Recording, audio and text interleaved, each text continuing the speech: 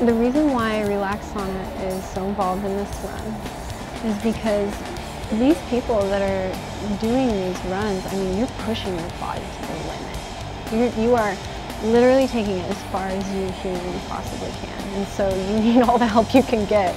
And certainly we do the best we can by eating the healthy foods, drinking plenty of water. But this really takes it to the next level because it allows you to detox very quickly and, and safely.